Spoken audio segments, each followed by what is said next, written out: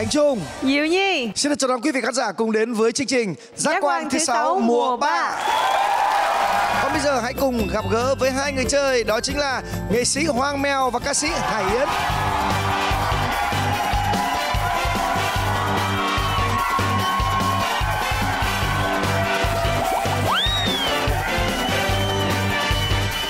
Dạ vâng, anh Hoàng Anh Mèo đây. ơi Ừ, Dạ ơi. xin mời anh gửi lời chào đến quý vị khán giả đang xem chương trình À em, em Dạ. nói trước đi Vâng, Ừ. à, Châu Hải Yến xin gửi lời chào đến tất cả quý vị đang theo dõi chương trình à, Gia quan thứ sáu. Xin chào tất cả quý vị à, cũng như chào Triệu Nhi, chào anh Thành Trung, chào anh Dạ. Hoa Mèo.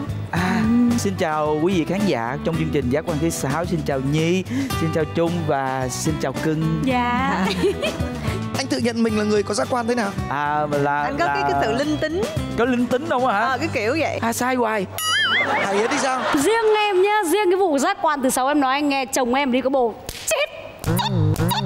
Shit Mà hình như là phụ nữ mới có cái đó Con trai không hề có cái đó Ngon con gái Em họ mà không nó bắt thì thôi anh nhá, em mà bắt thì còn như ba dưa bắt bóng dính.